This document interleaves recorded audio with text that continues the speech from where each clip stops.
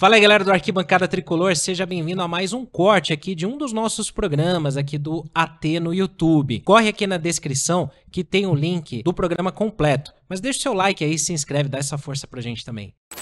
Casa. E aí, Caio, você comentou que, que não, é, não tinha que levar quase nada pro Morumbis dessa partida de logo mais, de, de, de, de quarta-feira.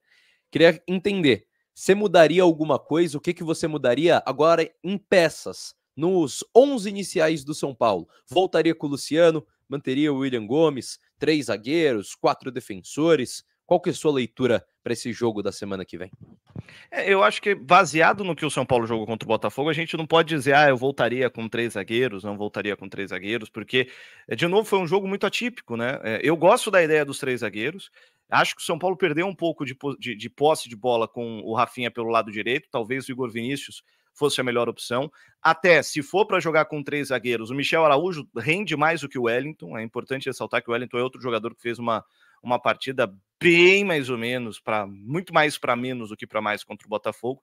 Então, é, é, não dá para você olhar para esse jogo e descartar três zagueiros, mas também não dá para olhar para esse jogo e falar, achei a minha formação com três zagueiros. É preciso ajuste. Né? É, vai usar três zagueiros? Talvez com três zagueiros, Rafinha e Wellington não sejam as melhores duplas de laterais. Eu preferiria Igor Vinícius e, e o Michel Araújo. Vai jogar com três zagueiros? Talvez não seja legal ter Bobadilha e, e Luiz Gustavo. Marcos Antônio pode fazer melhor essa função, porque quando o São Paulo joga com três zagueiros contra o Cruzeiro, tudo bem que era um time é, praticamente inteiro reserva do São Paulo que jogou contra o Cruzeiro, é, o Marcos Antônio ele faz um pouco mais essa função de é, levar a bola perto da grande área, de fazer essa transição, e era também um, uma estratégia de ser reativo, porque o Cruzeiro é um time que propõe o jogo, é um time que joga para cima, que tem essa característica. O Botafogo também. Só que eu não acho que o Botafogo vai jogar assim no Morumbi. Eu não acho que ele vai repetir esse esquema, até baseado na forma como o Botafogo jogou contra a equipe do Palmeiras nas oitavas de final da Libertadores, em que foi para o Allianz Parque, tudo bem que tinha uma vantagem, coisa que hoje o Botafogo não tem, mas tinha uma, uma postura muito mais reativa. E se vier com essa postura reativa no Morumbis, aí o São Paulo precisa mexer, precisa de alternativa. Talvez aí sim eu abriria a mão dos três zagueiros. É, não voltando com o Luciano, mas voltando para aquilo que a gente vem falando, com o William Gomes de um lado, o Lucas centralizado, né? E aí você tem o Wellington Rato pela direita, que pode fazer essa função de chegar mais para a grande área, de ajudar o Lucas na armação de jogada. É, é uma alternativa. Não acho que tem que jogar fora o que foram os três zagueiros contra o Botafogo. Só não acho que esse esquema é bom para se jogar em casa contra um time que provavelmente vai ser reativo, que é o caso do Botafogo. Então o Zubeldia precisa estudar. É, é, é, lógico que tem um jogo do Internacional né, aí no meio do caminho que precisa ser tratado com, com uma forma especial, mas o Zubeldia tem que assistir esse jogo do Botafogo com muito carinho, tem que assistir com muito carinho também Botafogo e Palmeiras, porque muito do que o Botafogo fez contra o Palmeiras no Allianz Parque ele vai repetir contra o São Paulo também no jogo no Morumbis. E olhando dessa forma, montar o esquema do São Paulo, buscando essas alternativas, buscando esse jogo diferente.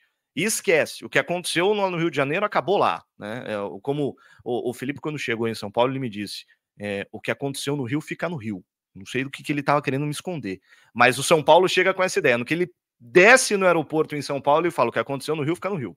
A partir de agora, é outro jogo, são 90 minutos em casa, com uma característica diferente, com um aspecto diferente, com o adversário que vai jogar diferente, com a torcida do nosso lado. E aí o time tem que ser diferente também, a formação tem que ser diferente. Eu não iria com três zagueiros para a próxima partida contra o Botafogo no Morumbi, não, Felipe. Olha, eu concordo com você. Acho que nesse aspecto, acho que poderia testar alguns outros, alguma outra formação. Acho que ele tem que aproveitar isso que foi feito como um, um o que aconteceu no Botafogo, talvez como uma, uma um exemplo negativo. Que cara, realmente o objetivo foi alcançado. São Paulo só não jogou da forma que precisava ter jogado, que muitas, que muitos torcedores estão criticando.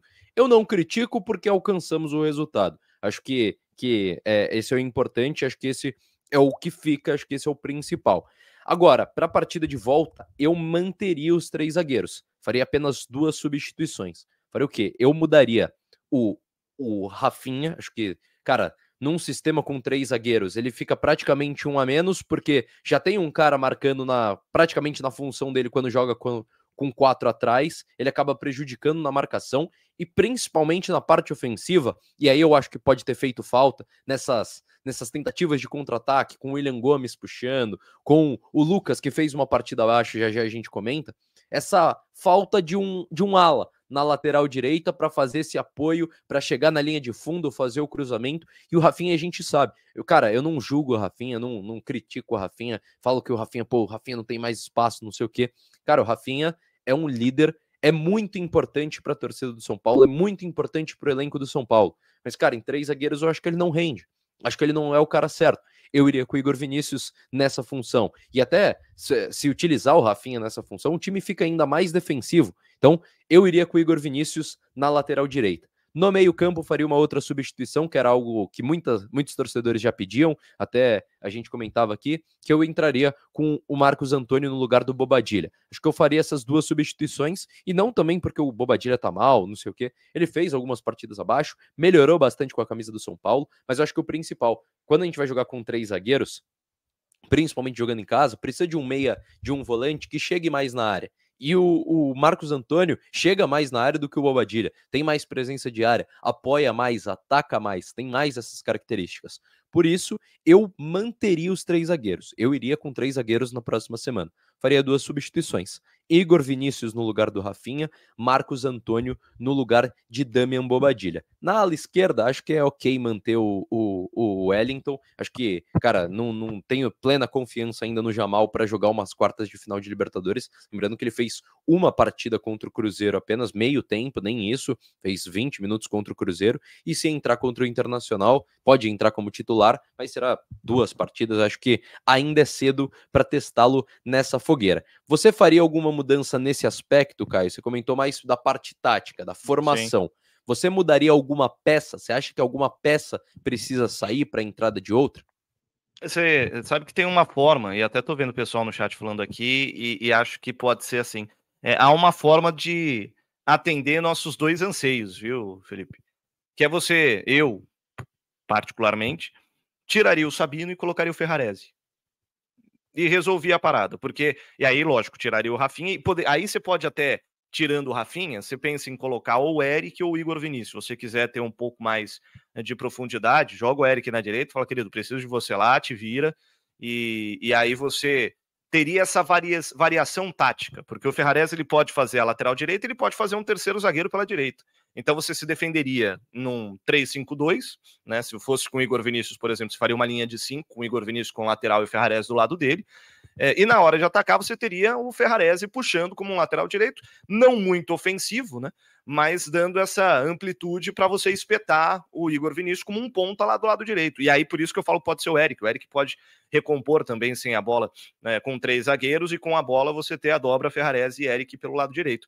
É algo que dá para ser treinado. É, se o Quiser, ele tem tempo para treinar e ele pode encaixar esse time dessa forma. É uma, eu, eu, gosto até de esquemas táticos que te permitem essa variação tática dentro do jogo, né? Sem você precisar automaticamente mexer no time titular.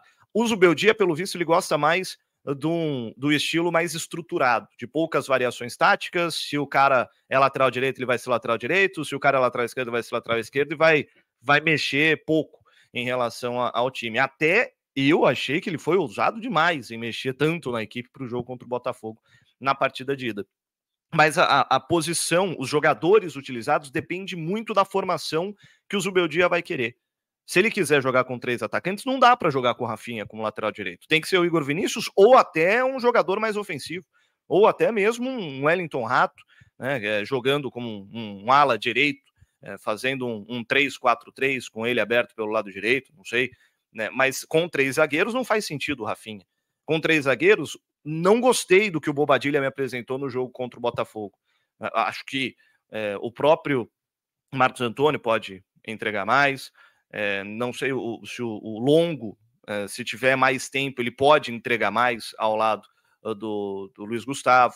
Então é, é, é, um. As alterações no time titular dependem muito. O que eu não mexeria no ataque. William Gomes, Lucas Caleri, para mim tem que começar o jogo, independente do que do que o, o Zubeldia queira para posicionamento dos jogadores. Agora, do meio para trás, depende muito. Depende muito. Com três zagueiros, por exemplo, eu preferiria começar com o Michel Araújo do que o Wellington. Não acho que o Wellington fez uma partida horrorosa, mas eu gosto mais do que o Michel Araújo pode entregar ofensivamente do que o Wellington, é, de qualidade de saída de bola, em saber segurar jogo, em, é, mesmo que perca um pouquinho na marcação. Eu prefiro o Michel Araújo. É, poderia começar com Igor Vinícius e Michel Araújo nas pontas, se for três zagueiros, se ele manter, né? É, Arboleda, Alan Franco e, e, Sabino, eu preferiria Rafinha, é, Rafinha, é, Igor Vinícius e, e Michel Araújo pelas pontas. Então depende muito, depende muito. O time que eu escalaria, eu gostei dessa ideia, viu, Felipe? O time que eu escalaria seria com o, o Ferrarese no lugar do Sabino, apesar do Sabino ter feito um bom jogo contra o Botafogo, mas eu escalaria o Ferrarese no lugar do Sabino. E aí, talvez até um Wellington Rato no lugar do Rafinha. E aí, com a bola, a gente jogaria num, num 4-2-3-1 que o Zubeldia tanto gosta. Sem a bola, o Wellington Rato precisa de você como um ala direito. Fecha aqui, vem bater junto com o, o Ferrarese aqui para fazer dobra com ele e a gente se fecha aqui atrás sem a bola. Eu gosto, gosto dessa variação tática para o jogo contra o Botafogo. Acho que pode ser importante também, concordo com você. Eu sou muito fã da formação com três zagueiros, então é, gosto do que vem do que o Zubeldia apresenta. Claro, não, não, não, não dá para usar de parâmetro esse jogo contra o Botafogo, mas partida contra o Cruzeiro, gostei do que foi apresentado. Segundo tempo contra o Palmeiras também, que estávamos com três zagueiros, gostei também. Bom. Daí, esse foi mais um corte aqui no Arquibancada Tricolor. Se você curtiu, já deixa o seu like, se inscreva no canal e fique de olho em tudo que acontece, ativando o sininho e virando membro do Arquibancada Tricolor. Vambora!